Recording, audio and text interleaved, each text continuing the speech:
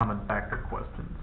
Now, GCF, that stands for greatest common factor, and when you look at an equation like this, you see something that's in common, and you're going to ask yourself, okay, what do the terms have in common?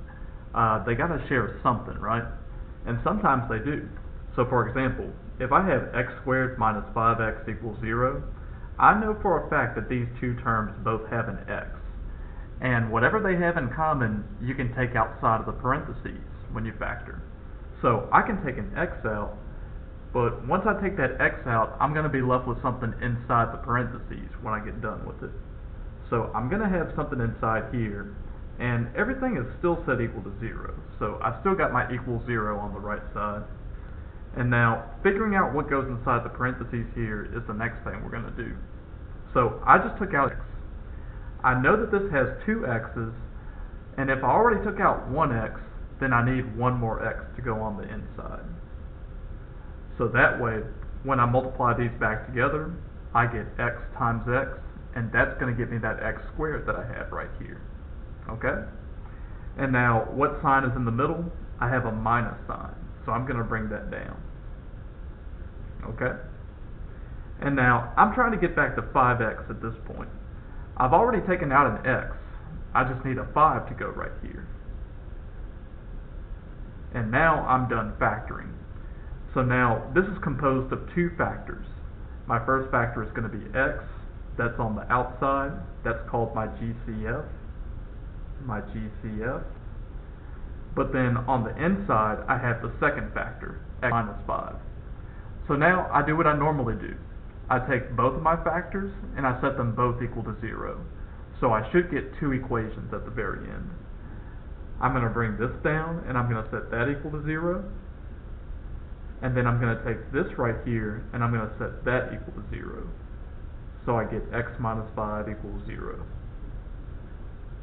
Okay, so now I have two different equations I need to solve.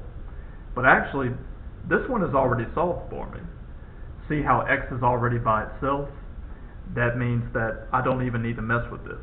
It's done. I just need to solve this one. So to get that negative 5 out of the way, I can add 5 to both sides. And when I add 5 to both sides, the x is going to come down. The negative 5 and the positive 5 are going to cancel each other out.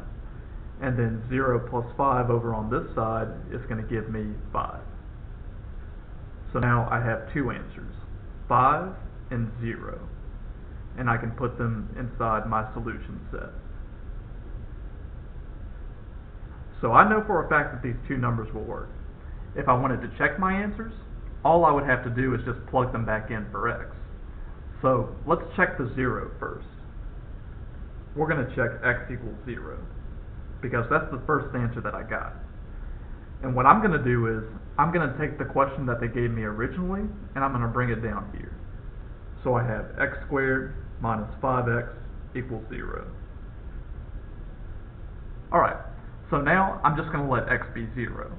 That means that everywhere I see an x inside the problem, I can put in a 0.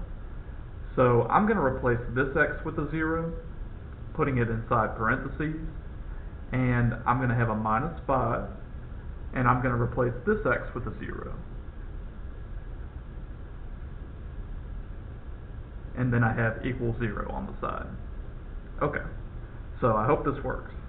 I know that 0 squared is going to be 0 times 0, and that's going to be 0. And then I bring down my minus sign. 5 times 0 is still 0, so I'm going to have a 0 right here. And I still have my equal 0 off to the side. And then 0 minus 0, that's going to give me 0. So I get this true statement at the end, which means that this number is going to work for this equation. Okay? Now let's check the 5. Let's let x be 5 and see what happens. So now we're going to check the second solution that we got. x equals 5. And what I'm going to do is, I'm going to use the original equation that they gave me. So I still have x squared minus 5x equals 0.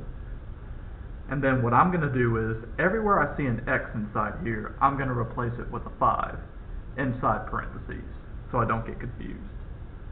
So I'm going to let this x be 5, and I'm going to let this x be 5. but everything else is gonna stay the same. The minus is gonna stay the same, the five is gonna stay the same, and the equal zero is gonna stay the same. Okay? So five squared, I know that five squared is gonna give me twenty-five. So that's just gonna become a twenty-five. And then I have a minus sign that I need to bring down. Five times five is gonna give me twenty-five. And then I have equals zero. So the last thing to do would be to subtract these. Twenty-five minus twenty-five indeed does give me zero. So I get this true statement at the end. So I know that five is gonna work inside my solution set. And that's the way you solve quadratic equations. Uh, when you have a GCF, just take it out and then see what you have left after that.